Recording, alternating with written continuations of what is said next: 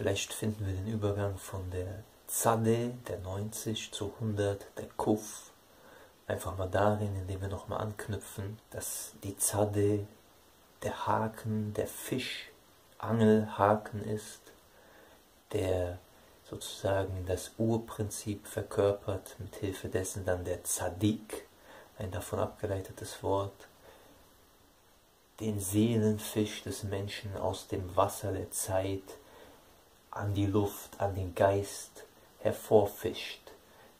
Der Fisch, der natürlich sich nicht gerne fangen lässt, natürlicherweise sozusagen den Angelhaken flieht, geködert werden muss, üblicherweise.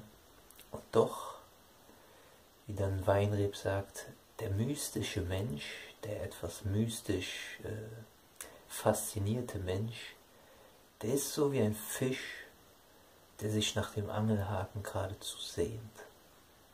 Und da geht es dann noch nicht darum, einmal jetzt an Land gefischt zu werden und für alle Zeiten, beziehungsweise für den Rest des dann sehr kurzen Fischlebens, einfach nur noch am Trockenen zu vertrocknen, sondern dieses wirkliche Sehnen nach dem mystischen Erleben ist nicht der eine Moment dieser Offenbarung, der Jenseitigkeit, des Zeitlosen, des Ewigen, wie so ein Erleuchtungsmoment, Erleuchtungserlebnis nach irgendwie stundenlanger Meditation erreicht, das wäre schon wieder viel zu, viel zu absichtsvoll und dadurch ja, gewissermaßen dem Geist Amaleks entspringen, könnte man vielleicht mit dem biblischen Bild sagen. Das Wort Amalek wird zumindest dann laut mancher Deutung vom Wort für, für sich abmühen, Werke verrichten, nicht unbedingt äh, immer negativ zu verstehen. Amal, ein, mem, lamet, diese Wurzel, ist auch einfach das tüchtige Werkeln sozusagen, sein Werk verrichten. Aber gerade bei Amalek wird es dann eben eher negativ gedeutet als, ja, man könnte im, sagen wir mal, traditionell übersetzten Paulus-Deutsch sowas sagen wie die Werksgerechtigkeit, das selber machen wollen, durch das Abmühen und auch andere immer dazu zu ja, motivieren, klingt noch zu positiv, eher zu triezen, anzuheizen, zu verführen letztlich. Doch möglichst durch eigenes Schaffen wollen, durch eigene Mühe, durch eigene Leistung, das Leistungsprinzip, irgendetwas erreichen zu können hier in dieser Welt. Aber dann letztlich im Geistigen eben auch in Bezug auf sowas wie die große Erleuchtung, die große Weisheit und was man sich da alles vornehmen kann. Amalek, das allzu selbstgerechte, sich abmühen, streben, aus sich selbst heraus etwas erreichen zu wollen. Also nicht das ist das, was der wahre Mystiker von diesem herausgefischt werden erhofft, dass er dann am Ziel ist, sozusagen die richtige Entscheidung getroffen hat, indem er in den Angelhaken beißt, sich raufziehen lässt, sondern vielmehr dass er an Land gezogen wird, dass er aber auch wieder, wie auch immer, ins Wasser kommt, ins Wasser zurückgeworfen wird, neues Wasser findet, vielleicht anderes Wasser. Die Welt, die Erdoberfläche besteht ja nicht nur aus einem Wasser, einem Fluss, wo vielleicht man als der kleine Fisch, der man hier nun mal ist, zufällig, das Schicksal hat so bestimmt, hineingeboren wurde, sondern wenn man dann erstmal diese eigene heimatliche Wasseroberfläche durchbricht, an die Luft kommt, an Land wirklich kommt und äh, das nicht schon für das Ende der Reise empfindet, sondern sich dann erstmal umguckt, erkennt man, ja, auch dort ist Wasser, äh, wenn wir es mal mit einem Wortspiel auf Hebräisch sagen können, Shammaim. Dort ist Wasser. Und dieses Wort Shammaim ist eben auch der Himmel, die Himmel eigentlich. Denn man sagt, auch im Himmel ist Wasser, auch im Himmel ist Zeit. Und das sehen wir ja sogar ganz physisch. Die Wolken sammeln eben Wasser und lassen es wieder auf die Erde regnen, wie der ewige Kreislauf des Hinabregnens, dann durch Hitze, also durch das feurige Element in der Schöpfung, wieder verdunstend, aufsteigend, als dieser Dunst, übrigens ein sehr wichtiges Wort, schon ziemlich am Anfang der Bibel, der Dunst, Ed, Aleph, Dalet, 1,4 geschrieben, auf diese 1,4, so Gott schenkt, kommen wir sicher noch einmal zu sprechen, wenn wir hier so erzählen von den Zahlen. Jedenfalls dieser Wasserkreislauf, der dazu führt, dass eben durch das Spiel der verschiedenen Luftströmungen, überhaupt der Hitze, letztlich alle Elemente, die Erde, die auch das Wasser, was hinunterregnet, wieder aufsaugt, dadurch erst befruchtbar wird. Also diese mythischen vier Elemente Erde, Wasser, Luft und Feuer spielen in der großen Harmonie der Natur wunderbar zusammen. Und gerade das Wasser, das wir eben schon als Sinnbild für die Zeit und Zeitlichkeit, für das Zeiterleben, wie wir Menschen es hier auf Erden kennen, steht. Dieses Wasser ist eben auch oben vorhanden, im Himmel. Und so also auch schon in dem hebräischen Wort Shomain, Sham. Dort ist Wasser. Man könnte wiederum auch einfach das Aim als die Dualendung verstehen und dann haben wir die zwei Dorte, die zwei Orte sozusagen. Also die Zweiheit, die eben zur Einheit geworden ist im Himmel. Die Zweiheit der Welt, des Hauses, der Beith, die aber eben als Einheit weiter im Himmel bestehen bleibt. Einheit in der Zweiheit, die hier auf Erden eben zunächst einmal nicht so erlebt werden kann von uns. Vielleicht steckt gerade in dieser Einheit in der Zweiheit das eigentliche Geheimnis auch des Menschen, der eben diese Schöpfung, die ganze Schöpfung durch sich selbst, durch seine Rolle, die er einnehmen darf hier in dieser Mittlerposition, als die verbindende Waff zwischen Himmel und Erde, Shomaim wa Aretz, dass er da eben die Zweiheit, die im Wesentlichen diese Welt, die Schöpfung ausmacht, durch die vollkommene, immer weitergehende Entwicklung in die Zweiheit hinein zwar erst einmal begleitet, aber dann gerade durch die eigene Entscheidung dennoch umzukehren, zurück zur Heimat, zum Himmel, zum Vater im Himmel zurückzukehren.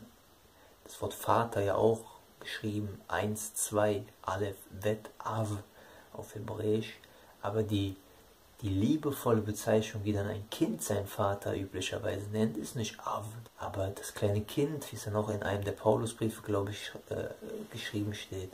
Und wir sind berufen, als die Kinder zu sagen, Abba, lieber Vater. Also dieses Abba, wo dann die Aleph doch wieder am Ende steht. Aleph, Bet, Aleph, 1, 2 und so zu 1.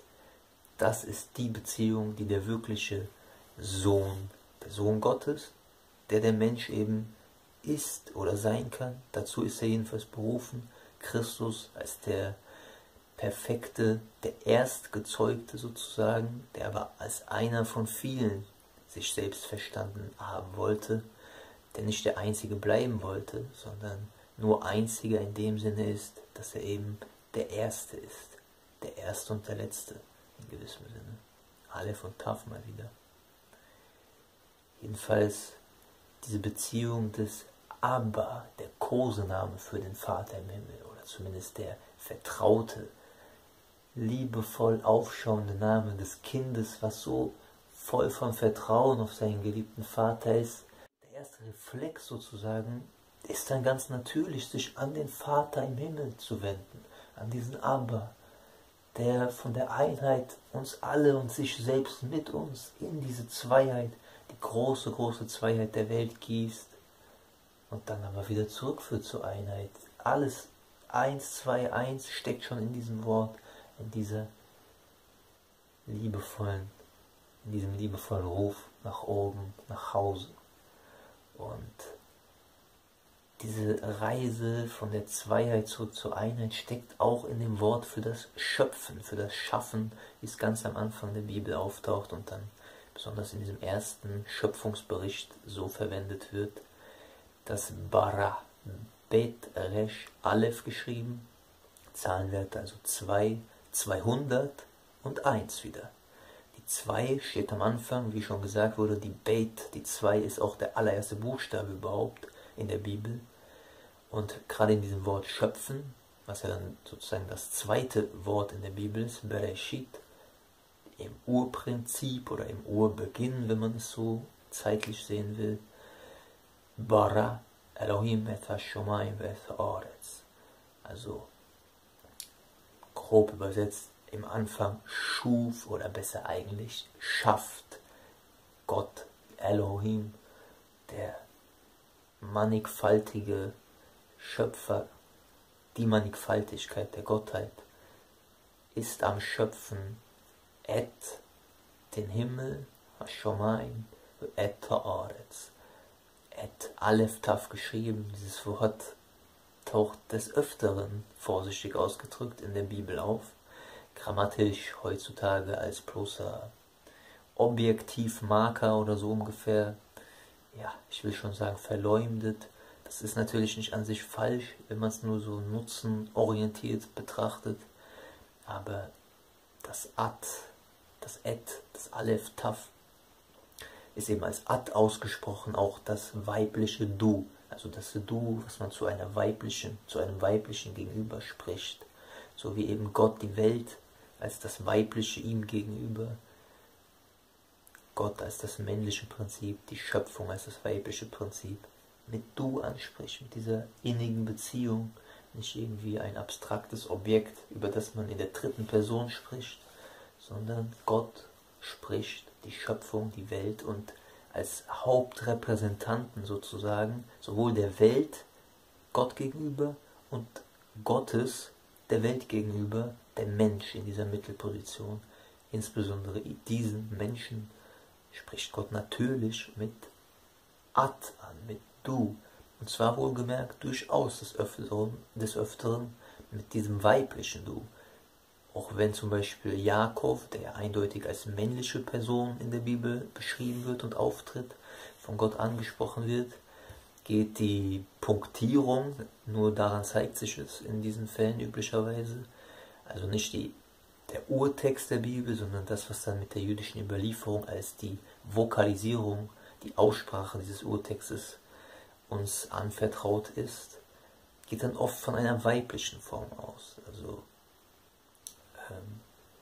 dir, für dich würde dem männlichen gegenüber eigentlich Lacha heißen, aber dann steht oft Lach. Das ist eigentlich die weibliche Form. Oder genauso anstatt Böcha in dir durch dich steht einfach Bach. Bei der Stelle mit der Himmelsleiter zum Beispiel kommt äh, so ein Vers vor, den ich jetzt nicht auswendig parat habe. Gelegentlich wird übrigens auch Gott mit dieser weiblichen Form äh, angesprochen in der Bibel. Dann kann man das vielleicht als gerade die göttliche Einwohnung, also die weibliche Seite Gottes, die Herrlichkeit Gottes, wie sie hier in der Welt eben wohnt, Shechina ist dann der hebräische Fachbegriff. Shechina vom Wort äh, Shochen, wohnen. Das Wort schöpfen, davon sind wir gerade ausgegangen. 2, 201 geschrieben. Das zweite Wort in der gesamten hebräischen Bibel, Bara, Bara, je nach Dialekt. 2, 201 geschrieben. Also von der 2 ausgehend zur völligen Zwei in alle Zukunft hinein, also zur Zweiheit bis aufs Höchste getrieben, bis in die Hunderte hinein. Und da sind wir dann bei der Resch, die gleich auch noch ein bisschen angesprochen werden darf, hoffentlich. Aber von dieser 2 und dann zu 200 geht es plötzlich scheinbar gegen jede äh, Vermutung, könnte man sagen, zurück zu 1. Denn das ist der Sinn von aller Schöpfung, nicht, dass sie immer weiter sich entwickelt, immer höhere materielle Stufen der Vervollkommnung erreicht, Das ist der Evolutionsgedanke. Das ist wieder die Schlange, die ewig sich fortsetzende Reihe von Ursache und Wirkung mit der zwar menschlichen, aber vermessenen Hoffnung, dass es dann am besten auch noch durch unser eigenes Werk, wieder der Geist Amaleks, der da in uns schreit und sich windet, durch unser eigenes Leisten angeblich noch zum Besseren hin sich entwickeln, zum immer vollkommeneren. Aber wenn wir aufrichtig die Welt betrachten, nach diesen menschlichen Maßstäben selbst, dann kann man das eigentlich nicht wirklich sagen. Kulturen im alten Ägypten, die irgendwelche Pyramiden, Kolosse gebaut haben, die wir heute nicht mal mehr wissen, wie man sie überhaupt heute mit modernster Technik bauen könnte. Und dann unterstellen wir diesen Leuten, dass sie primitiv damals waren und das mit irgendwelchen, äh, ja, ohne Hilfsmittel und ganz äh, primitiven Techniken geleistet haben sollen. Wir einfach mal vom biblischen Weltbild ausgehen und das jetzt mal spaßeshalber auch historisch, zeitlich, was man bitte im Großen und Ganzen nicht so tun soll, aber wenn man einfach mal die biblische Storyline zeitlich verstehen will, dann ist doch ganz eindeutig, dass es schon anfängt mit einem Fall hinab aus der geistigen Sphäre sozusagen, aus dem Paradies, wie es ja gerne genannt wird, dann immer weiter abwärts geht. Die Lebensalter der einzelnen Menschen werden immer kürzer, die Sintflut kommt, die Völker splittern sich immer weiter auf, dann der Turmbau zu Babel, dann die Knechtschaft in Ägypten, dann zweimal das gelobte Land, was erreicht wird, aber auch dann wieder der Verfall, immer mehr verschiedenste neue Könige in Israel, in beiden, in dem dann geteilten Reich, äh, stehen auf, die wieder immer einer schlimmer als der andere ist. Immer wird das Böse in den Augen des Ewigen getan, wie es immer formuliert ist, als so eine fast schon Standardfloskel, wie es dem heutigen Leser oder Hörer erscheinen könnte. Also man kann wirklich nicht sagen, dass das jetzt irgendwie immer bergauf geht. Im Gegenteil, am Ende des äh, Alten Testaments, also der hebräischen Bibel, der schriftlichen Tora im weiteren Sinne sozusagen, am Ende steht eigentlich die Zerstörung des Hauses Gottes auf Erden. Die Verheißung, dass es wieder aufgebaut wird, natürlich, aber die Zerstörung.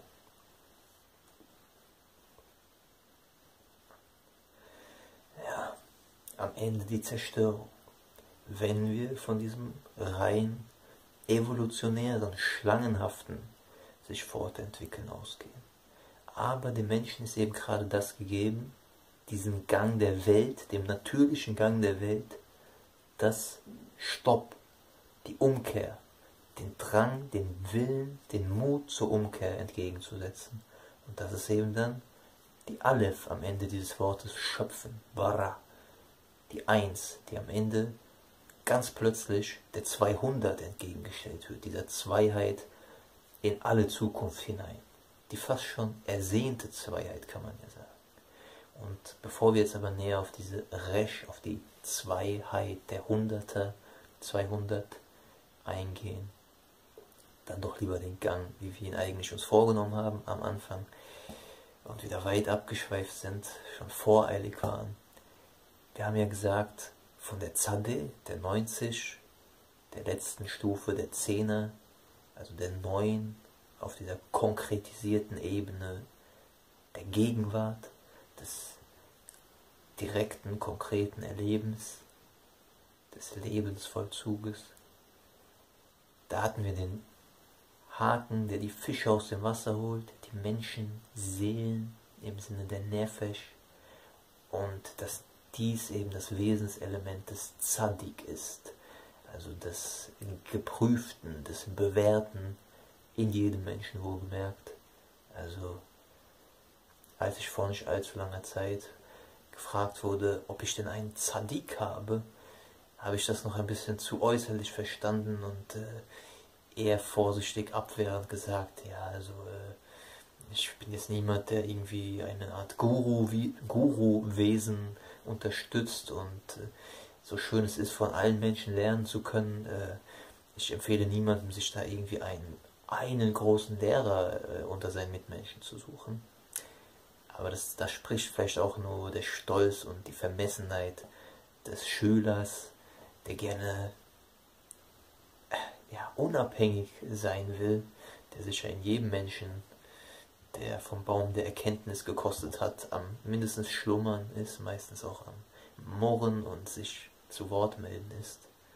Noch etwas später in dem Gespräch, da musste ich dann selber nochmal drauf zurückkommen, dass mir da noch was eingefallen sei, habe ich dann die eigentlich einzig wahre und richtige Antwort gegeben. Aber wie das halt so ist, es hätte sicherlich wirkungsmächtiger geklungen, hätte ich es ganz direkt spontan bei der ersten Frage gesagt.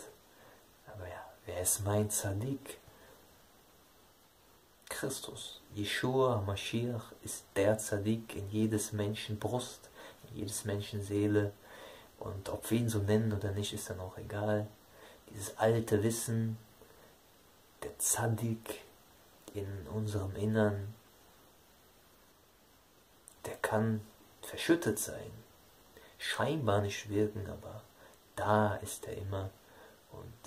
Da ja nun mal Jeshua einfach der Beistand Gottes wortwörtlich übersetzt bedeutet, Jehoshua, der Beistand des Ewigen, die Hilfe, die errettende, das errettende Eingreifen des Ewigen vom Himmel her sozusagen in diese irdische Sphäre hinein.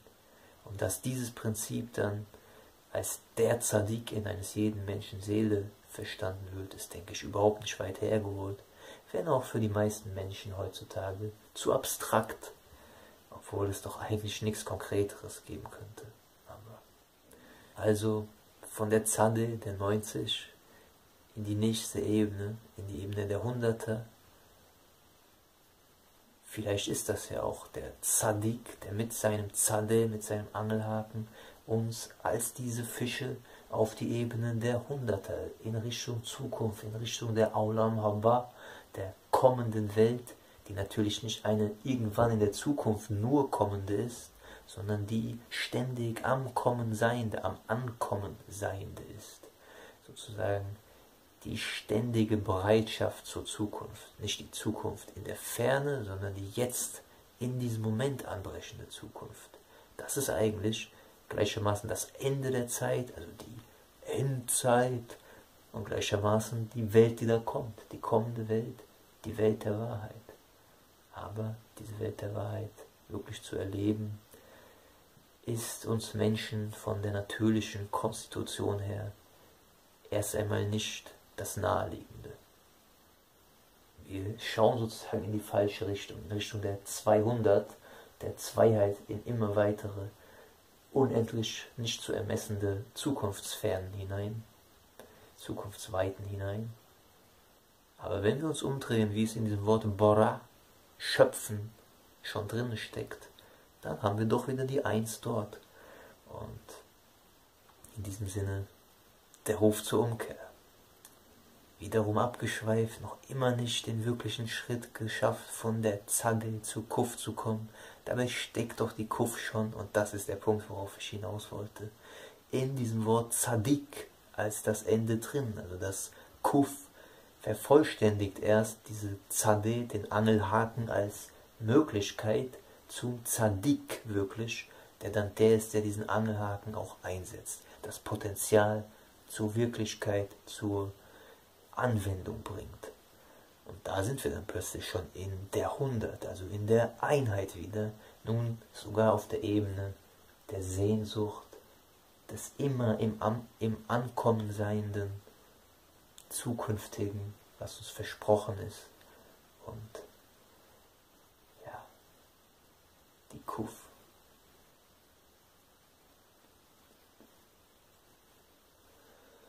Was kann man zu Kuf alles sagen? Oder Kof?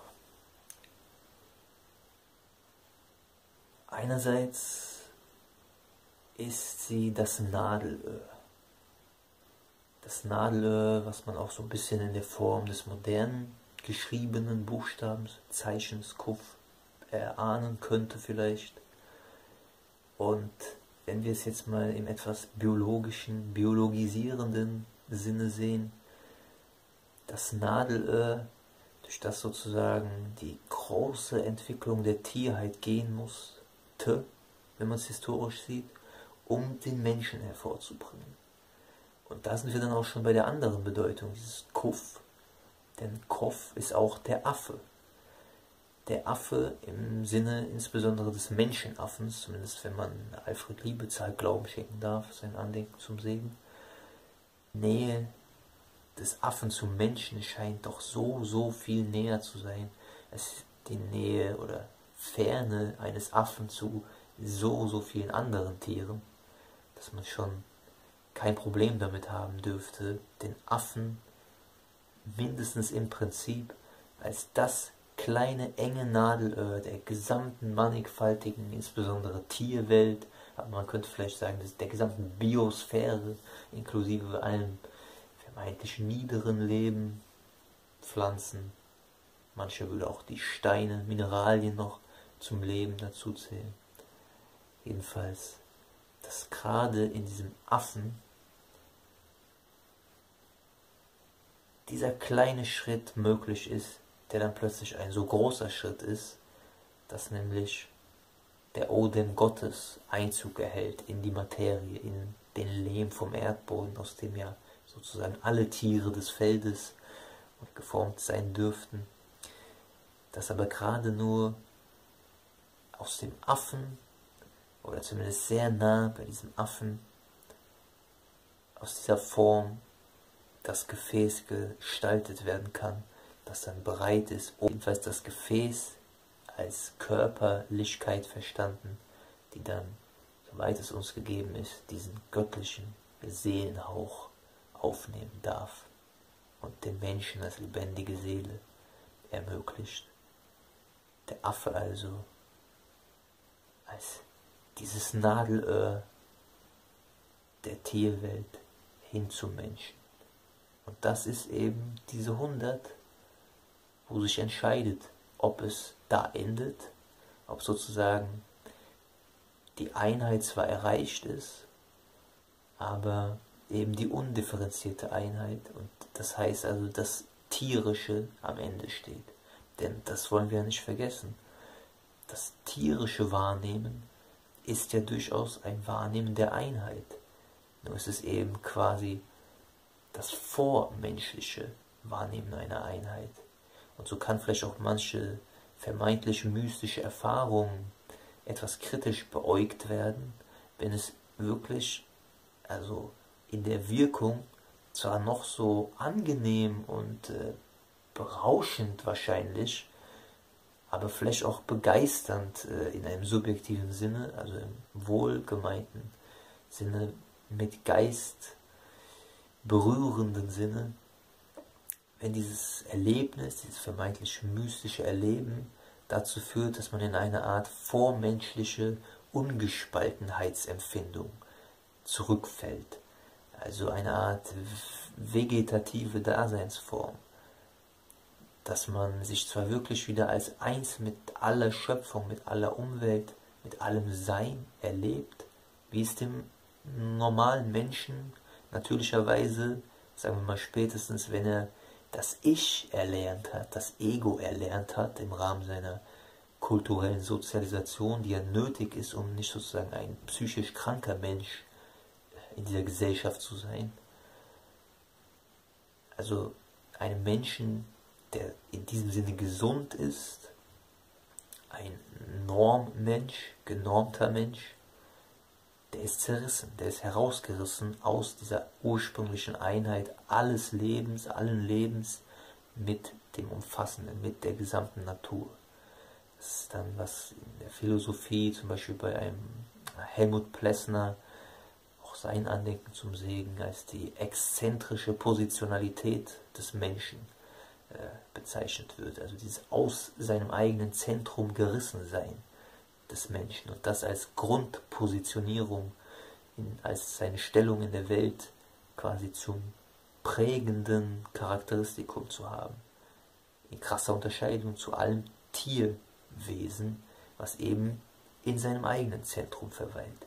Nur der Mensch ist so weit aus sich selbst herausgetreten, dass er die abstrakte Ebene einnehmen kann, sich selbst zu betrachten, dadurch aber mit sich selbst nicht mehr eins ist, von sich selbst Teil abgespalten ist und damit eben auch von der ganzen Natur, die ihn umgibt, weil er selbst im wirklichen Sinne, und das schon ganz körperlich verstanden, auch physisch, ist natürlich nur ein Teil der gesamten Natur. Ein Körper, ein physischer Körper, kann sich noch so sehr als Individuum empfinden, er ist und bleibt schlichtweg ein Teil fließend in der Umgebung, in der Umwelt, solange eben als individuelles, äh, als individueller Organismus überhaupt weiter besteht, sich behaupten kann gegen diese Umwelt, die vermittels der Entropie eigentlich immer danach strebt, ihn sich anzugleichen.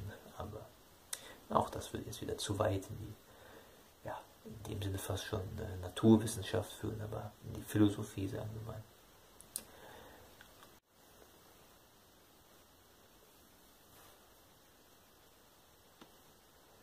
Frage also, ist es wirklich ein Fortschritt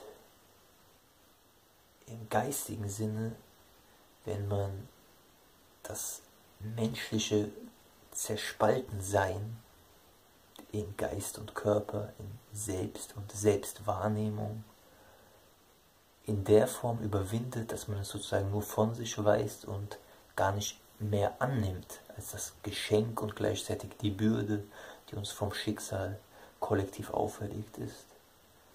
Oder ist das nicht vielleicht das Stehenbleiben bei dieser Hundert, bei der Einheit zwar, aber eben bei der Einheit, die alles, was bis dahin schon geschenkt war, wieder verloren hat, verloren gibt, darauf verzichtet und sich mit etwas zufrieden gibt, was unter der Würde des Menschseins eigentlich angesiedelt ist. Tiere haben genau darin ihre Bestimmung, die Menschen ist sozusagen mehr oder schlichtweg etwas anderes bestimmt. Und deswegen endet auch das Alphabet nicht bei dieser 100, denn es erzählt ja von dem Exil der Menschheit, der Menschenseele als Kollektiv, der Seele der Menschheit, des Adam sozusagen, die hier in der Verbannung ist. Und es endet nicht nach dem 19. Zeichen, sondern nach dem 22. Und nachdem dieses 19. Zeichen die Kuf mit der 100 eben dieses Nadelöhr ist, durch das man entweder hindurchgeht und zu 2 auf der Ebene der Hunderter gelangt, von der schon einiges die Rede war, oder ob man bei dieser 100 stehen bleibt und die 100 dafür zu einem Affen wird, zu, zum Menschenaffen, aber eben Tier bleibt, wird, Frage des Standpunkts. Jedenfalls sei jedem gewünscht und gegönnt, durchzugehen durch dieses Nadelöhr, vielleicht als das sprichwörtliche Kamel sogar. Und wenn ich auch selbst noch weit davon entfernt bin, diesem Jesus-Zitat, die wirklichen Tiefen, die sicherlich aus der jüdischen Überlieferung schöpfen, abzugewinnen, so sei es doch allen, die, so Gott will, das hier einmal hören werden, noch einmal vor diesem Hintergrund anempfohlen, darüber nachzudenken, nachzusinnen besser. Hindurchgegangen durch dieses Nadelöhr der Kuf, also bei der Resch, bei der 200 angelangt, nachdem schon einiges gesagt war zur Zweiheit im Sinne von der bis auf die Spitze getriebenen Entwicklung dieser Welt der Dualität, ist dann in dem Wort für Schöpfen Bara quasi das Zentrum der drei Wurzelzeichen bildet. Aber was hat es wirklich auf sich mit diesem Resch? Es ist ja wie so oft erstmal nur der äußere Wert, den wir als die 200, also die Zweiheit auf der Ebene der Hunderter kennenlernen. Das Resch wird aber eben nicht einfach nur R genannt, sondern Resch. Da ist noch ein Sch, ein Shin Und hier haben wir eine Besonderheit. In dem gesamten Aleph-Bet, bei allen 22 Buchstaben, wie sie aufeinander folgen, kommt nicht einmal außer an dieser Stelle vor, dass der, das eine Zeichen in, seiner, in seinem vollen Namen endet mit dem Zeichen, was darauf folgt. Allein durch den sogenannten Atbash-Wert, bei dem die Aleph mit der Taf, der erste mit dem letzten, dann der zweite mit dem zweitletzten Buchstaben, der Shin mit der, der Bet mit der Shin äh, quasi vertauscht wird im Zahlenwert, zeigt ja auch, dass zum Beispiel die 1 im Ursprung mit der 4 in der Zukunft, der 400, eng zu tun hat. Das eine die andere Seite des anderen ist, die verborgene Seite. Und dort zeigt sich dann eben auch, dass die 2 des Ursprungs, die Beth, mit der Schiene, mit der 3 der kommenden Welt, der Zukunft eng verknüpft ist, wie auch die 3 des Ursprungs in der Gimel mit der 200, der Resh, also der Zweiheit der kommenden Welt, eng verknüpft ist in diesem Atabash-Sinne, in diesem Sinne, das eine ist die jenseitige, die verborgene Seite des anderen. Eine verborgene Seite, nicht die einzige, aber diese jenseitige, auf die man vielleicht das Jesus-Wort, die Letzten werden die Ersten sein und die Ersten werden die Letzten sein, anwenden könnte. Jedenfalls ist die 200 der Resch durch dieses Schien, was hier da beigesellt ist im vollen Namen des Zeichens, eben eigentlich schon im vollen Wert die 500. Und die 500 sollte jetzt bei jedem in den Ohren klingeln, haben wir schon als den theoretischen Zahlenwert des verborgenen Zeichens, des 23. Zeichens kennengelernt. So ist also in dieser Zweiheit, die ersehnt wird als die zukünftige, die 500 des Himmels. Das war ja der Abstand des Himmels von der Erde, der Umfang vom Baum des Lebens. Diese 500 ist als Verborgenes, als Geheimnis schon in dieser 200 enthalten, in dieser Reich. Und wenn wir wieder zurück zum Wort Bora, schöpfen kommen, wo also diese 200 das Zentrum der drei Zeichen bildet, auch die Verführung natürlich, denn alles außer dem Menschen, dem Menschen zumindest als Möglichkeit in der Realität, sind es dann auch nur 2,6 Prozent, während äh, die 97,4 Prozent äh, dem, dem, Rest der Welt folgen. Äh, um es mal in einem Bild der Überlieferung zu sagen, was hier nur für die, die es bereits kennen, angedeutet sei. Diese, der Rest, dieser Rest der Welt folgt ja von sich aus. Einfach nur der 200 in dieser äußeren Form, wo es dann bei der Zweiheit bleibt, so wie also schon die 100, die Kuff, diese Gefahr in sich geborgen hat, nur beim Affen stehen zu bleiben, beim höchst entwickelten Tier, in der Überspitzung dann vielleicht bei sowas wie dem Übermenschen in einem äh, ja, verzerrten Nietzsche-Sinne, also wie ich hoffe, dass Nietzsche es nicht wirklich gemeint hat in den hellen Momenten, die Gott ihm geschenkt hat, sondern wie es dann von vielen vermeintlichen Nietzsche-Interpreten ja teilweise fatal eben verballhornt wurde und daraus sowas wie die Comicfigur Superman ist ja auch äh, sich auf diesen Übermenschen von Nietzsche berufend und überhaupt alles, was man so als Transhumanismus äh, ja, teilweise wirklich scheinbar ersehnt, so traurig es klingt, also als eine Art Überwinden des Homo sapiens in einer Fortentwicklung zu einem besseren, teilweise mit irgendwelchen Maschinen gekreuzten Wesen. Das ist vielleicht dann die überspitzte Form von diesem Affen als Höhepunkt der menschlichen Entwicklung, der Kuf. Und die Resh ist dann zwar noch ein Durchbruch durch diese Schranke, also noch das Kommen durch das Nadelöhr hindurch, aber wenn man dann stehen bleibt, wenn wir dann stehen bleiben, sind wir eben da, wo die Welt ohne den Menschen als höchstes hinkommt. So ist also die 200, die Resch in ihrem äußeren Wert nur, immer noch etwas Gefährliches.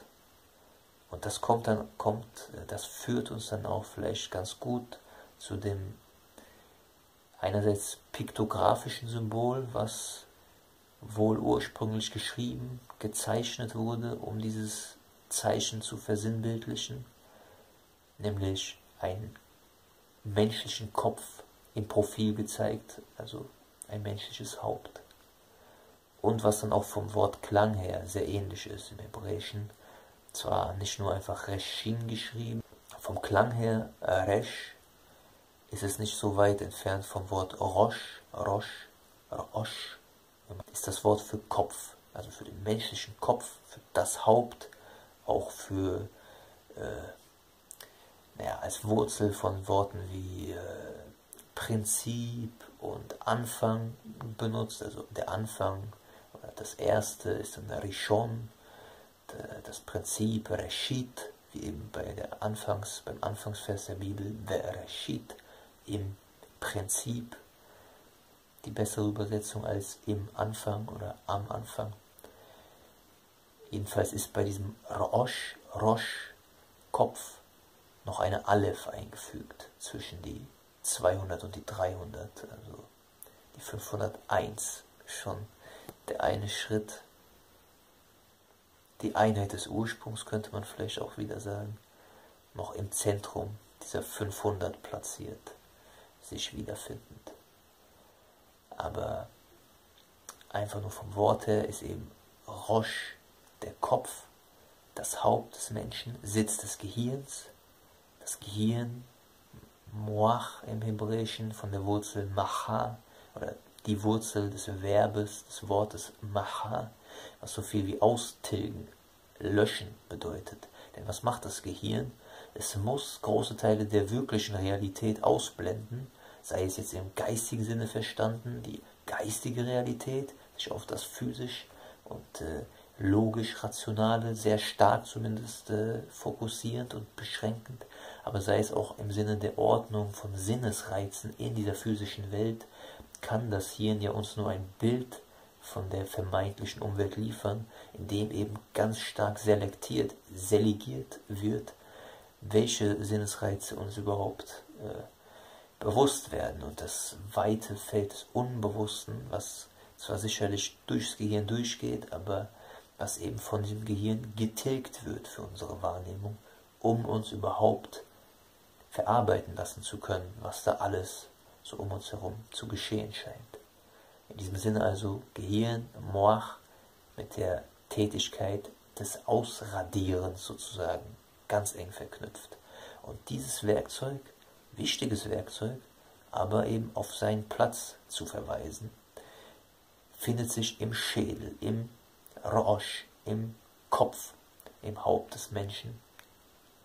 Jedes äh, Wirbeltieres natürlich, aber jetzt schauen wir uns den Menschen an, denn die Resh hat ja als piktografisches Symbol gerade den menschlichen Kopf im Umriss. Und so ist eben dieser Kopf nur als äußerliches Resch verstanden, die 200 und damit wieder diese Gefahr. Und ich denke, jeder, der sich ein bisschen mit der Bibel, mit allgemein geistigen Themen auseinandergesetzt hat, kennt diese Gefahr des zu kopflastigen Bewertens, Urteilens und erst recht äh, ja, Zerdenkens wirklich. Also wo zwar alles ganz korrekt, logisch, auch richtig vonstatten geht, wo aber man sich so in die Details verliert, dass eben wieder das Ganze, die Ganzheit, das oft eben Wesentliche dadurch ausradiert erscheint, ausgeblendet jedenfalls ist. Und man sich in diesen Details verliert, verheddert quasi in den ganzen Synapsen und äh, Verknüpfungen, die da durch die Begriffsnetze, die man sich gebildet hat, gestrickt hat, so, ja, das Spinnennetz erscheinen. Aber auch das hat natürlich seine guten Seiten. Da verfängt sich schließlich auch die ein oder andere Fliege drin. Und gerade die Fliege gegenüber der Spinne mit ihren acht Beinen, die sechs Beine und damit die Sechsheit repräsentierend, ist eben tendenziell eher mit dem Bösen assoziiert, mit ja, dem Belzebub ist ein bekannter Begriff, ein quasi Synonym für den Teufel geworden. Und Baal, Sebub, Herr der Fliegen, der Besitzer der Fliegen, wird von manchen, ich glaube, mit Fliegen quasi ein Urbild für Krankheitserreger gemeint ist. Also die modernere Bezeichnung für den Herrn der Fliegen wäre der Herr der Bazillen, der Herr der Bakterien und Viren. Und in dem Sinne also die körperliche Krankheit, den Angriff durch diese unsichtbaren weitgehend, aber in Massen auftretenden Feinde, Feinde des Lebens und der Gesundheit, äh, repräsentiert eben in diesem Aspekt des Widersachers, des Teufels oder des Satans. Sie fliegen also in einer Anekdote zur Zerstörung des Tempels, wird dann gesagt, die waren es, die eigentlich erst die Zerstörung mehr oder weniger aus Versehen hervorgerufen haben, indem eigentlich die Babylonier gar nicht direkt vorhatten, den Tempel zu zerstören. Die wollten ihn vielleicht plündern oder meinetwegen auch irgendwie schänden, entweihen, aber ihn zerstören, vielleicht waren sie dafür eigentlich zu kulturell hochstehend, um so ein wertvolles Kulturerbe auch zerstören zu wollen. Es war dann also so, so sagt diese kleine Geschichte, dass nur irgendwie zufällig ein kleines, kleines Feuer am Rande, vielleicht noch vor dem Tempel oder am Eingangsbereich angefangen hat zu kokeln und die kleinste Flamme dann ausgereicht hat, dass Fliegen durch sie hindurchgeflogen sind, dabei selbst in ihren Flügeln in Brand geraten sind und wie Fliegen halt so sind, weiter geflogen in ihrer ziellosen Panik und einen Vorhang nach dem anderen innerhalb des Tempels angesteckt haben mit ihren brennenden Flügeln und so sich erst der Brand überhaupt ausweiten konnte und gefährlich werden konnte. Und die Spinnen werden dann erwähnt als gerade die, die den Tempel zu beschützen versuchen. Die spinnen noch ganz schnell ihre Netze, um eben diese brennenden Fliegen aufzuhalten. Aber, wie wir dann wissen aus dem Ausgang der Geschichte, es hat nicht gereicht. Am Ende sind zu viele Vorhänge in Brand geraten, das Feuer nimmt überhand, das Gold schmilzt, fließt geradezu heraus aus dem Haus Gottes und der Tempel wird verwüstet. Und das beständige Opfer, das Tamid, endet, wird nichtig. Und so endet dann auch überhaupt das Leben der Menschheit in einer Sphäre, wo noch das Ewige wirklich leibhaftig unter uns wohnt. Und nur in dieser Sphäre, die dort geendet ist, kann man tatsächliche Opfer darbringen, wie es in den plastischen Bildern der Bibel beschrieben wird, wo Tiere geschlachtet werden nach ganz minutiösen Angaben. Das alles, das findet immer noch statt, aber bitte bloß nicht in dieser physischen, Re in dieser physischen Realität, physischen Welt, in der wir hier leben, wo der Tempel zerstört ist. Denn dort darf überhaupt nicht diese Art von Opfer gebracht werden. Das steht übrigens auch schon in der Tora selbst, auch in den gängigen Übersetzungen so drin. Nur dort an dem Ort, wo der Ewige diesen Ort erwählen wird, dort seinen Namen wohnen zu lassen sind diese Riten praktikabel, praktizierbar. Und diese Realität hat aufgehört, im Äußerlichen für uns zu sein. Es ist quasi eine Art, was wir von unserem jetzigen Standpunkt als Traumwelt bezeichnen müssten, wo dieser Tempel noch steht, wo die Leviten ihre Lieder singen, während die Stufen hochgeführt wird, das Tier, und dann in dem entscheidenden Vorhof der Opfer darbringende das Opfer auch selber unter Anleitung des Priesters schlachtet das Opfertier.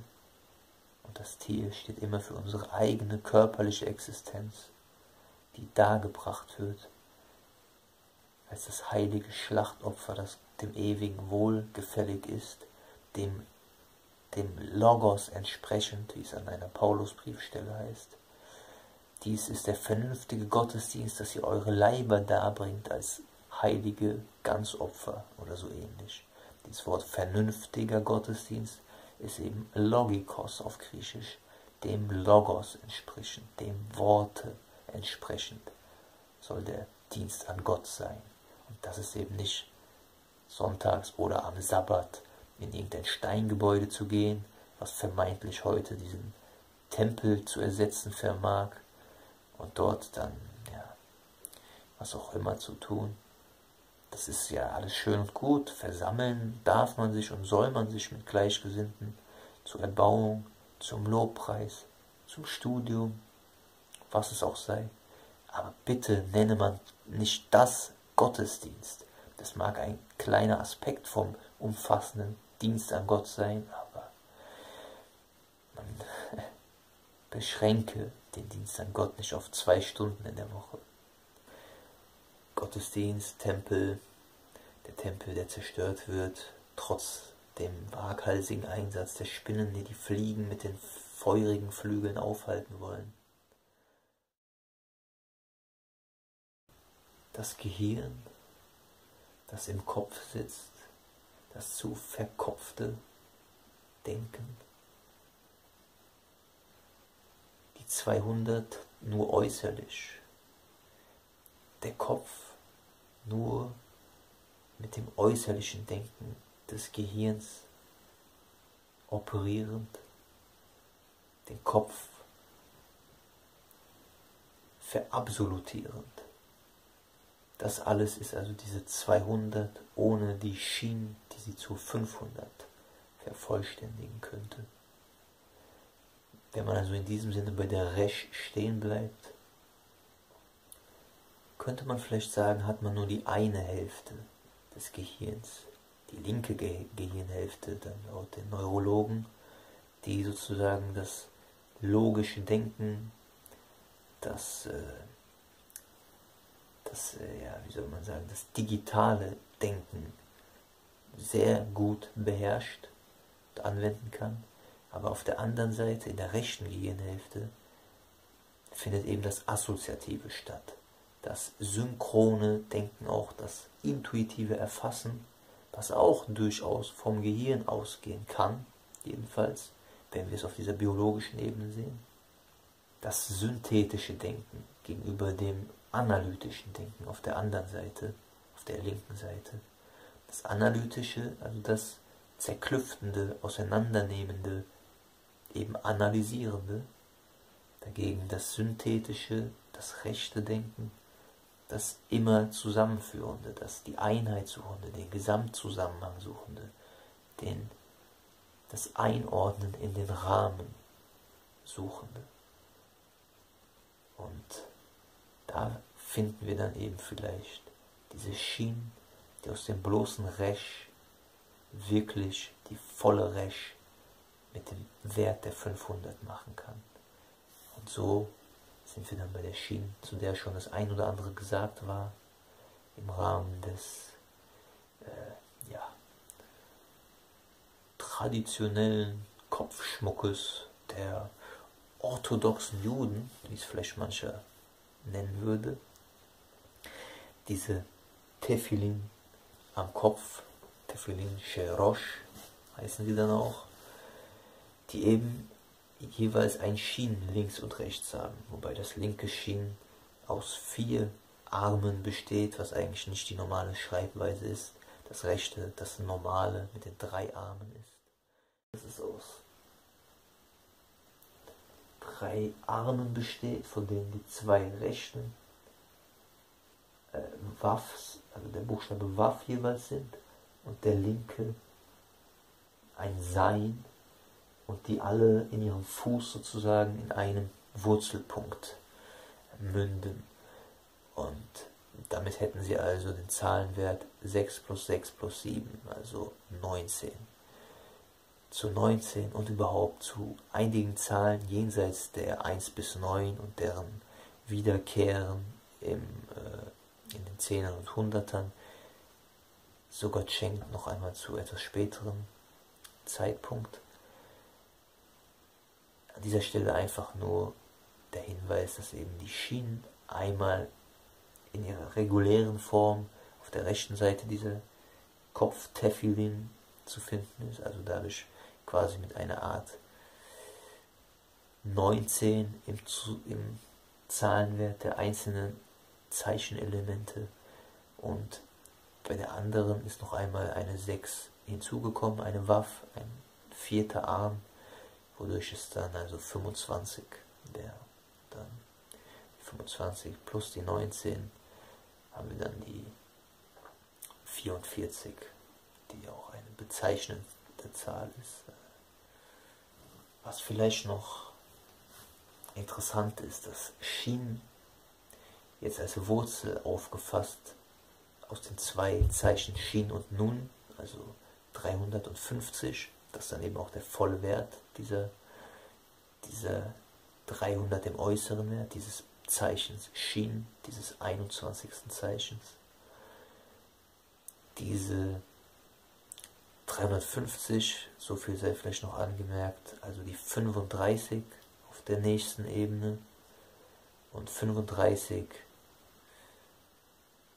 wird, denke ich, als allererstes mit dem Wort Ag-al assoziiert.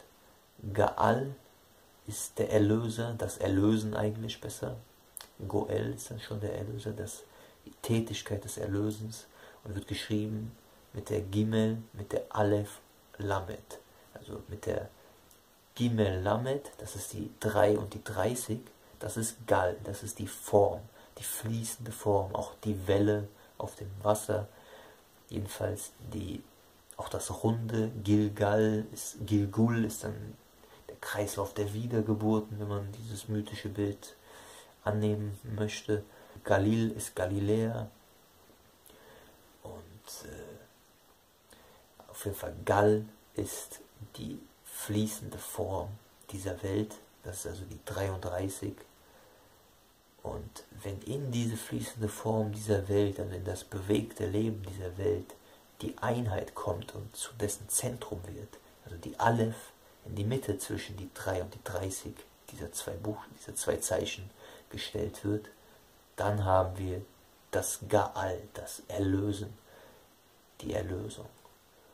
Und das ist dann also der Zahlenwert 34. Die Aleph, die 1, fügt sich also zur 33 der fließenden Form hinzu und wird zur 34. Und wenn wir dann eine weitere Aleph vorne hinstellen, haben wir die erste Person Singular also das Ich erlöse, Age all. Und das ist die 35. Das ist also eine durchaus selbstbewusste Aussage. Natürlich könnte man sagen, Gott spricht diesen, diesen Satz, dieses Wort, was schon ein ganzer Satz ist in der Übersetzung. Oder der Messias spricht es. Spricht es auch ohne es auszusprechen, einfach durch sein, durch sein Werk, durch seinen Wandel. Age all 35. Aber vielleicht zeigt sich ja dann in dieser 35, gerade auch für die Welt, die da kommt, also für die nächste Ebene, dass es auch der einzelne Mensch ist, der diesen Messias in sich lebendig hat, in sich annimmt, diese Hand, die ihm gereicht wird, die Gnade, die ihm vom Himmel zugeteilt, zugesprochen ist und dadurch selber auch diese vermittelnde Rolle einnehmen darf, wo er eben dazu in seinem Lebensvollzug einmal berufen ist. Wahrscheinlich am ehesten in den Momenten, wo es ihm überhaupt nicht bewusst ist.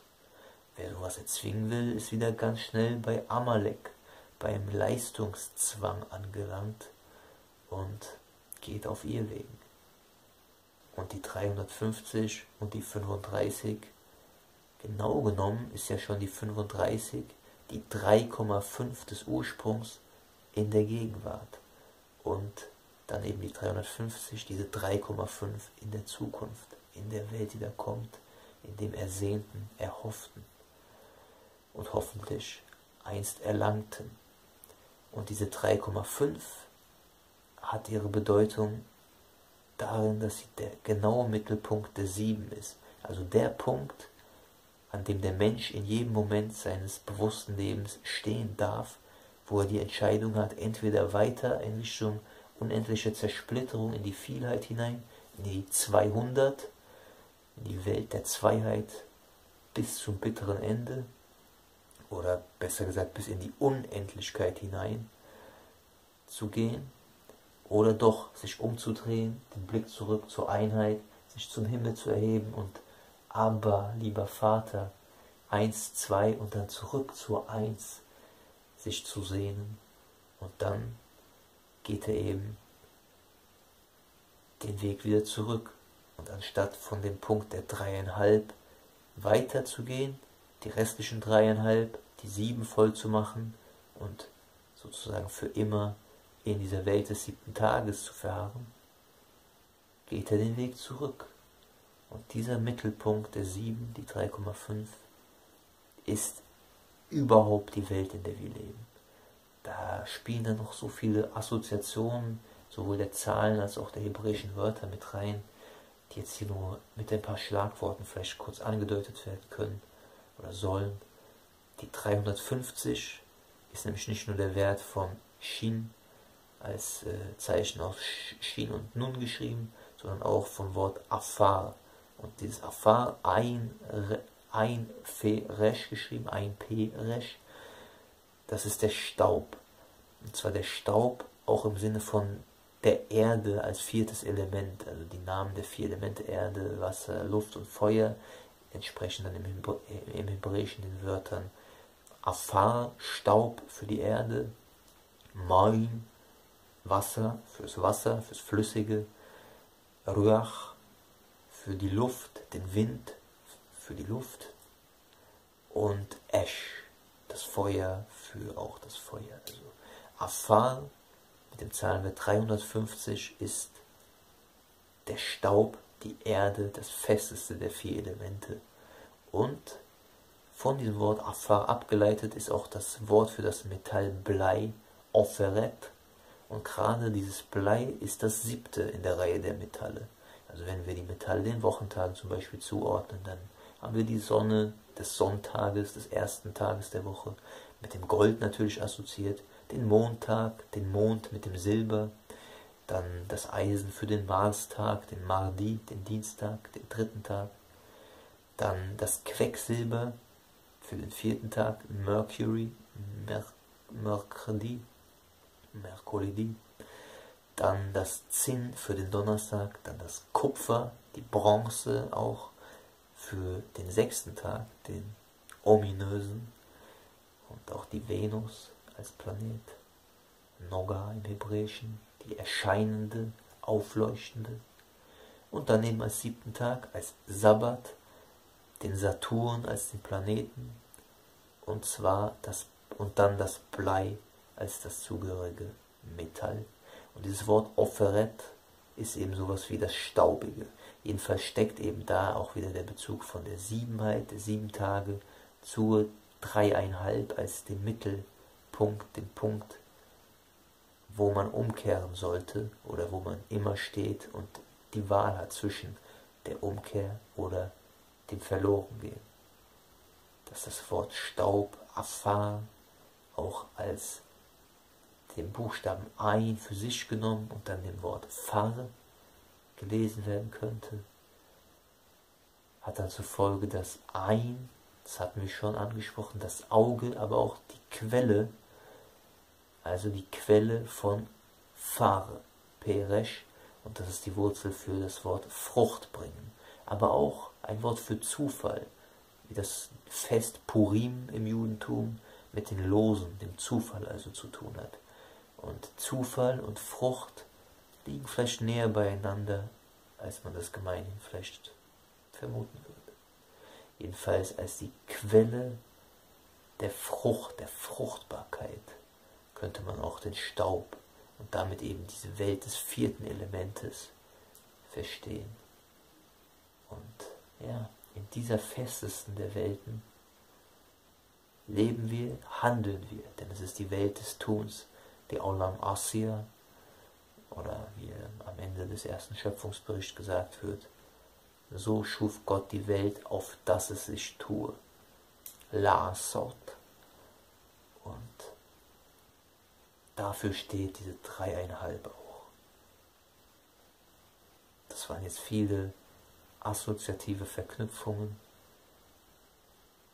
Wiederum, bitte daraus keine Lehre konstruieren wollen, sondern diese Dinge versuchen einfach nur aufzunehmen, immer mal wieder auch wiederkäuen, wie es die reinen Landtiere ja tun, die müssen ja Wiederkäuer sein, laut der Weisung des Ewigen, damit wir sie verzehren, in uns aufnehmen können und auferbaut werden können von diesem Aufnehmen.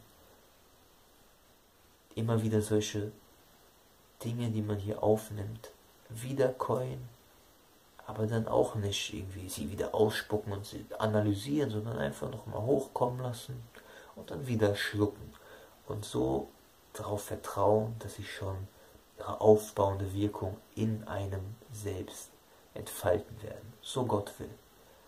Und ja, vielleicht kommt hier und da mal so ein Geistesblitz und man hat den Eindruck, jetzt hat man irgendwas wirklich begriffen, ergriffen, verstanden und zieht seine Konsequenzen aus. Und darauf kommt es ja letztlich an, dass man dann auch Konsequenzen zieht aus dem, was man für richtig erkennt, erwählt. Wir übernehmen die Verantwortung für jede Wahl, die wir treffen. Und die Wahl fängt an, wo wir gedanklich eine Wahl treffen. So viel erstmal zu dreieinhalb, die dann die 350 als der volle Wert der Schienen auch ist. Die Schienen aber, das sollte noch gesagt werden, die Wurzel Shin Nun, Shen auch, hat vielleicht so viele Mehrdeutigkeiten, wenn man in ein Buch, in einem Wörterbuch wie dem Standardwerk, dem Gesenius zum Beispiel nachschaut, wie vermutlich kaum oder keine andere Wurzel des Althebräischen sonst. Spontan fallen mir da ein, eben der Zahn, ich glaube Shen punktiert, dann aber auch Shana, das Jahr, also der Jahreslauf, der Jahreskreis, das sicherlich her, sich leitend vom Wort Shana, dem Wiederholen. Dann steckt aber auch das Wort Schlafen, Yishan, Schlummern, Schlafen mit in dieser Wurzel drin. Dann hat das Shin die Besonderheit, dass es auch eine Variante der Aussprache mit S, also quasi mit Samech gibt. Dann wird zur Hilfe ein Punkt links oben über dem Shin gemacht, anstatt rechts oben. Rechts oben ist das Shin, also die rechtsseitige Aussprache ist das Shin, die linksseitige das Sin. Und mit diesem Sin ist die Wurzel noch einmal produktiv und da kommen dann Wörter wie hassen zum Beispiel zur Geltung hervor. Ja, also schlafen, wiederholen, auch das Lernen von dem Wiederholen sich äh, ableitend ist dann in dieser Wurzel enthalten. Die Mishnah zum Beispiel ist ja die Wiederholung. Ja, bestimmt noch einige, die mir jetzt gerade nicht einfallen. Was vielleicht auch noch als letzten Punkt genannt sei, ist die Form, die eben schon angedeutet war, mit diesen drei Armen, die in der Wurzel eins sind, aber halt nach oben hin äh, aufgefächert. Das auch, glaube ich, im piktografischen Symbol ursprünglich, aber immer noch in der modernen Form sicherlich sich irgendwo niederschlagend, die Form einer Feuerflamme zu erkennen ist. Auch dass das Wort für Feuer, Esch, eben diesen Schienlaut sehr prominent hörbar trägt, ist damit sicherlich zusammenhängend. Also Esh geschrieben, Aleph, Shin, also die 1 und die 300. Und von diesem Wort hier übrigens die Wörter für Frau und Mann abgeleitet. Also Ish ist der Mann, man könnte sagen der Feurige, wortwörtlich, und Isha ist die Frau, entweder die Feurige, einfach die weibliche Form des Mannes, oder das He, was hinten angefügt wird, was dann als A aber ausgesprochen wird, Isha, was zwar einerseits die Weiblichkeit anzeigen kann, aber in anderen Fällen kann es auch eine Art Lokativ oder Allativ, grammatisch ausgedrückt, äh, verkörpern, dann ist es hinzu etwas. Dann wäre also Isha auch Esha, hin zum Feuer bedeutend und wenig überraschend ist dann auch eine Bezeichnung für ein Feueropfer genauso geschrieben wie das Wort für Frau. Also Isha als Feueropfer, Isha la Adonai, ein Feueropfer für den Herrn, ist gleichzeitig auch eine Frau für den Herrn. Also vielleicht mal das im Zusammenhang sehen mit dem Thema der Hochzeit des Lammes im Neuen Testament, insbesondere in der Offenbarung, oder einfach der Bräutigam als der Messias, der Messias als der Bräutigam und Opfer, auch das Feueropfer, bitte wiederum nicht so sehr als irgendein Tier, was da geschlachtet und verbrannt wird, zu verstehen, sondern das Wort Opfer im Hebräischen in der Grundbedeutung Opfer, also das allgemeine Opfer ohne die Spezifizierung, Feueropfer, ob Ganzopfer, ob äh, Speisopfer und so weiter. Das Wort für Opfer, Korban, kommt vom Wort sich nähern, Karav, Kuf Resh Bet geschrieben. Und ein Opfern ist in diesem Sinne ein sich annähern, sich selbst näher bringen, näher kommen dem Ewigen. Und so ist also auch das Feueropfer ein durch die Hitze des Feuers, auch des Feuers des Geistes, flüchtig werdend, aufsteigend und eben empor als lieblicher Geruch für den Ewigen. Ihm entgegen, als Isha, als Feueropfer, als Frau. So tritt der Mensch dann eben als ein weibliches, dem Ewigen, seinem Schöpfer, als dem Männlichen gegenüber. Wogegen der Mensch, die Menschheit, der Natur gegenüber als das Männliche, eben vertreten, das männliche Prinzip, was dann wiederum eine Stufe höher der Schöpfer selbst ist, entgegen. Also der Mensch auch hier wieder erkennbar in seiner Doppelgeschlechtlichkeit, männlich-weiblich, in einem. Die zwei Seiten, die eins sind.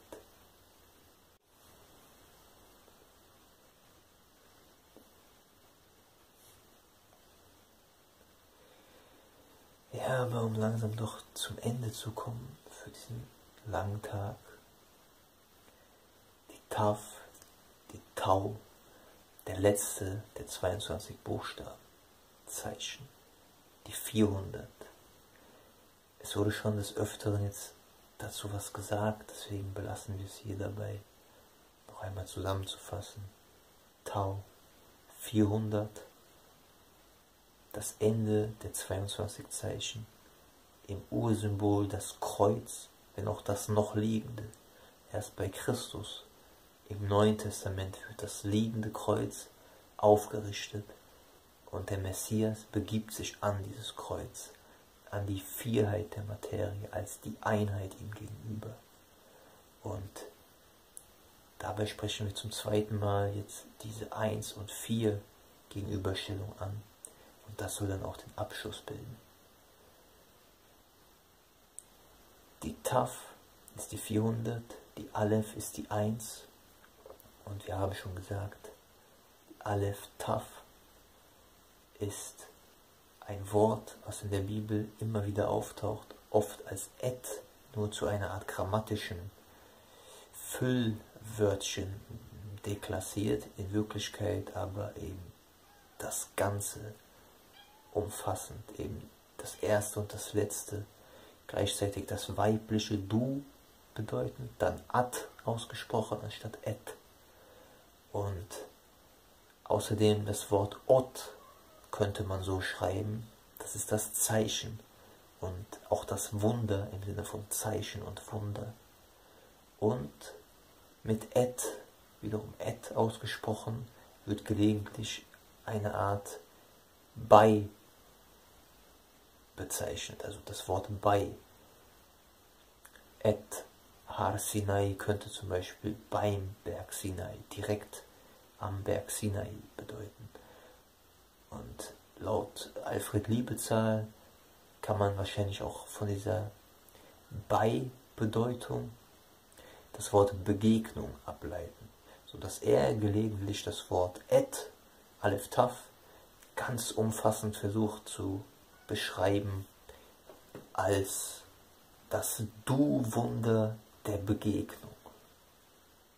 Und ich denke, auch wenn das vielleicht abstrakt wirkt auf den ersten Blick, kann man sich doch auf jedes Element dieses zusammengesetzten Wortes einmal einlassen und versuchen zu erfassen, was da eigentlich drin steckt. Das Du-Wunder der Begegnung. Also Alfred, Liebez, Alfred Liebezahl, Axel Nitschke, sein bürgerlicher Name. Sein Andenken zum Segen. Er wohl in der wahren Welt inzwischen, aber hat zumindest diesen demütigen Knecht, der hier am Reden ist, von dem er nur sehr wenig Ahnung hat, mir, meiner Seele, hat dieser Axel Nitschke sehr, sehr viele Tore eröffnet. Und Gott sei Dank für diesen Menschen und für die Begegnung mit ihm. Mögen noch viele Menschen ihm und seinen segensreichen Worten begegnen dürfen. Jedenfalls dieses Aleph Taf aus der 1 und der 400, der erste und letzte Buchstabe, demgegenüber könnte man das Wort aus J Mem, das ist dann das Meer, unter anderem. Es ist aber gleichzeitig auch die Pluralendung, auch die Dualendung, dann anders ausgesprochen. Pluralendung ihm, männlicher Plural, beziehungsweise allgemein auch Plural Majestatis, wie bei Elohim, Gott, die Gottheit, die Mannigfaltigkeit der Gottheit. Und Aim als Dual ausgesprochen, aber immer noch J-Mem geschrieben. Chaim, das Leben ist ja ein Dualwort im Hebräischen weil eben beide Seiten gemeint sind. Das Leben hier und das Leben jenseits. Unten und oben. Und wenn man sagt Lechaim, aufs Leben, dann heißt es eigentlich auf die Leben. In dem Sinne ist ja auch das deutsche Wort Leben ein Pluralwort, weil im Plural es immer noch genau gleich klingt wie im Singular. Jedenfalls J Mem gegenüber der Aleph Taf ist dann die 1040 sowie die 1400 alles umspannt von ganz außen auf beiden Seiten ist die Yod Mem, das Meer, also dieses umfassende Reservoir an Wasser, an Zeiterleben in dieser alten Symbolik, dieses Yam, das gleichzeitig auch einfach die Vielheit an jedem Wort kennzeichnen kann, als das Im oder eben die Doppelwertigkeit bei einem Dualwort wie bei Chaim. Dieses Yam, dieses Yod-Mem ist dann die 1040, also auf die Gegenwart plötzlich, das was in der 1400 von Aleph Taf, die 1 des Ursprungs und die 4, die Welt in ihrer völligen Ausprägung und Ausbreitung bis in die zukünftige Welt hinein. Das ist dann die 1040 in der Gegenwart, die Einheit und die Vierheit in der Gegenwart. Und das, diese beiden Zeichen, J und Mem, haben dann nur noch zwei zwischen sich. Und das ist die Kaf und die Lamet, die, die 20 und die 30. Und aus diesen, Wort, aus diesen setzt sich das Wort zusammen, Kol. Kol ist alles, das Ganze. Wie vollenden, oder die Braut Kala, das ist nämlich die Vollendete. Der Zahlenwert von diesem Koll ist die 50, zu dem wir ja auch schon das eine oder andere gesagt haben. Und in diesem Sinne umfasst also das Yam das Meer und gleichzeitig der Plural von jedem Wort, zumindest es ist eigentlich der männliche Plural, zum Thema männliche auch schon einiges gesagt, männliches Prinzip. Und dieses Jod-Mem umfasst also direkt, klammert ganz handfest, ganz eng alles ein.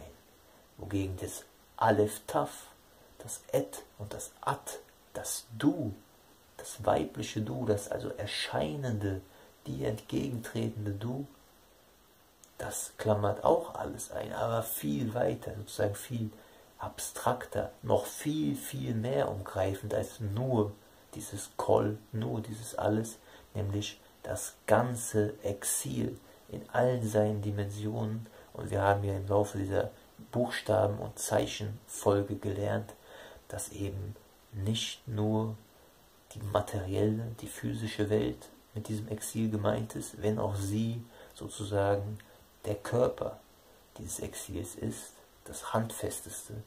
Aber gerade in dieser Aufeinanderfolge der Zeichen drückt sich eben das gesamte Schicksal der Schöpfung des Menschen in diesem Exil aus. Und damit immer das Eingebundensein des Erlebenden in dieses Gespinst eines, einer Gefangenschaft, in diese Bindung durch das Exil. Und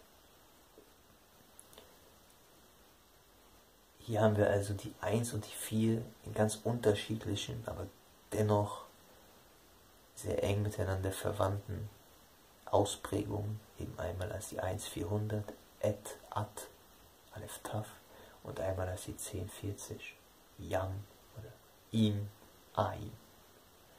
Und diese 1, 4, und unnötig eigentlich zu erwähnen, aber sicherheitshalber sei es nochmal getan, ohne die Schriften Friedrich Weinrebs, beziehungsweise ich habe erst eigentlich bei Axel Nitschke auch das erste Mal von Weinreb äh, zumindest bewusst gehört, ohne diese Schriften, also von anderen Menschen, auf deren Vorarbeit ich hier weiter aufbauen darf, für mich selbst. Ohne diese Hinweise wäre ich wahrscheinlich niemals darauf gekommen. Das ist eben auch der Sinn der wirklichen Überlieferung im Sinne Kabbalas im Sinne des Wortes Kabbalah. Das ist eben Kibel, der Stamm, gleichzeitig ein Empfangen wie ein Weitergeben. Das eine geht mit dem anderen einher. Indem man etwas weitergibt, empfängt man auch schon wieder was. Hier, wenn ich etwas erzähle, einfach ein bisschen Brainstorming betreibe, was mir so assoziativ kommt, immer wieder auf Abwege, auf Abschweifungen gerate, da habe ich selbst wahrscheinlich am allermeisten davon. Schon deswegen, weil vielleicht nie jemand diese Videos oder diese Tonaufnahmen sich äh, anhören oder anschauen wird. Aber auch so, selbst wenn es äh, alle Menschen auf Erden sehen würden, ich würde mich nicht wundern, wenn ich doch der bin, der noch das meiste davon hat. Einfach, weil ich es hier eben auch wiederkäue, was im Laufe der Jahre mir so zugekommen ist. Und indem ich es also weitergebe oder es zumindest versuche, empfange ich umso tausendfältiger zurück. Das ist Kabbalah.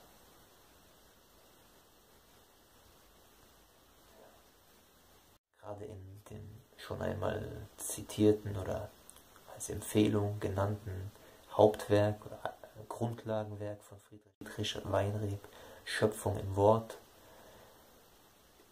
fängt eigentlich das ganze Buch genau damit an, mit dieser 1 und 4. Und ich hatte schon einmal äh, das Wort Dunst auf Hebräisch Ed, Aleph Dalet geschrieben, also 1,4 genannt.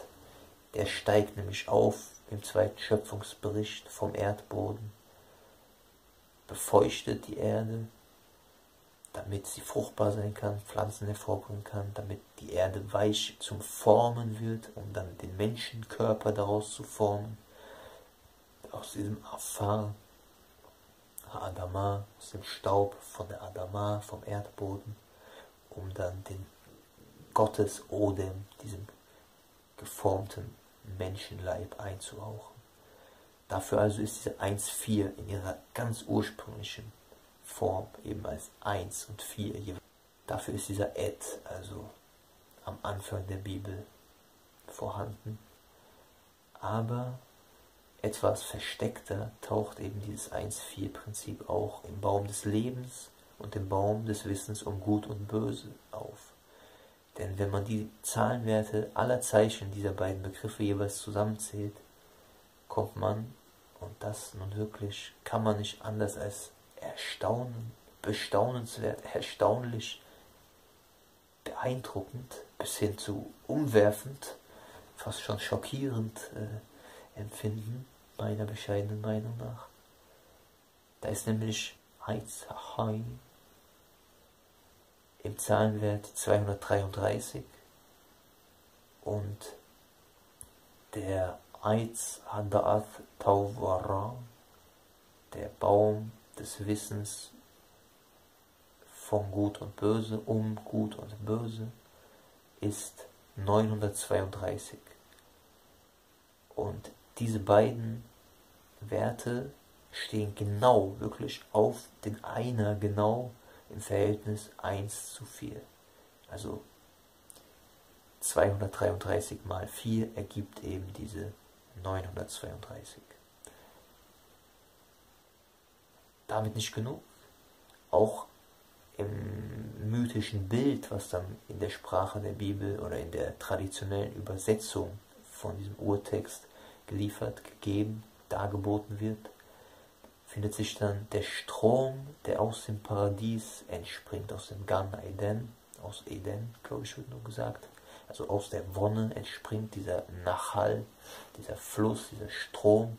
Nachal heißt auch das Erben, also was man ererbt, was einem mit diesem Fluss der Zeit zukommt. Das spaltet sich auf in die Vierheit von vier dann auch namentlich genannten Flüsse natürlich auch noch bestimmte Charakterisierungen haben, die auch faszinierend sind, aber jetzt nicht Thema sein sollen. Da haben wir also auch direkt dieses Prinzip der großen Einheit, die sich in die Vierheit aufträgt und hier gegenübersteht. Und das finden wir dann auch in der ganz natürlichen Welt im Sinne der Hand, des Daumens, der Einheit gegenüber der Vierheit der Finger. Und gerade das macht eben dieses Greifen, wie es der Mensch kann, aus, dass die Vierheit an sich ist nur eine Pfote. Der Daumen alleine wäre auch nicht besonders hilfreich. Aber das Zusammenspiel von beiden, das ist es, was dieses menschliche, wo sich eben die Zusammenkunft von Einheit des Himmels, Gottes, der Vierheit, des Irdischen, der Welt, der Schöpfung, zu diesem, ja, zum Menschlichen in seiner höchsten Form ausdrückt. Und es gibt noch viele andere Beispiele. Dann bitte ich doch bei Weinreb einmal wirklich nachzulesen, nachzuhören. Aber auch Dieter Mjunskes Videos bei YouTube heutzutage sind sehr, sehr empfehlenswert. Unter anderem zu dieser, ich glaube, eins seiner ersten Videos, wenn nicht sogar das allererste auf seinem Kanal bei YouTube, trägt auch genau diesen Titel, das 1-4-Prinzip. Und da wird es dann noch sehr viel schöner alles erklärt. Aber auch sowas wie die die Stammeltern von den zwölf Stämmen Israels, der eine Vater Jakob mit seinen vier Frauen Rachel, Lea, Bilha und Zilpa. Oder die, das Verhältnis von einem Atemzug, Einatmen, Ausatmen und vier Herzschlägen, was wohl schon relativ deutlich der Durchschnitt sein dürfte im Verhältnis dieser beiden Lebensäußerungen zueinander. Dann der Kopf als die Einheit gegenüber der Vierheit des restlichen Körpers, sei es im Sinne der vier Gliedmaßen, zwei Arme, zwei Beine, oder auch in der eher altertümlichen Darstellung die vier Gelenke, also das Halsgelenk, dann das Hüftgelenk, dann das Kniegelenk und nochmal das Fußgelenk, was dann also vier Abschnitte von unten nach oben des Rumpfes einteilt und dann oben der Kopf, der als steuerndes Element für diese Vielheit fungiert. Und so ungefähr ist das Verhältnis immer. Die Einheit soll über die Vielheit herrschen. Aber dadurch ist nicht das eine oder das andere besser, sondern beides gehört zusammen. und bildet sozusagen dadurch die innere Struktur der Fünfheit, des Fruchtprinzips, was eben aus der Hochzeit von Himmel und Erde entsteht.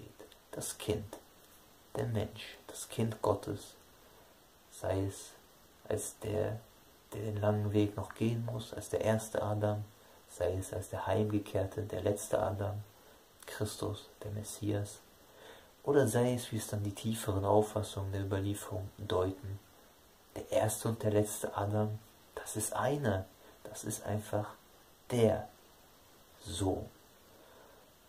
Sohn des Menschen wie Sohn Gottes. Und auch die Rede vom Messias als der erstgezeugten Seele, die aber als letzte hinabsteigt in dieses Exil. Auch diese Rede meint im Kern genau das.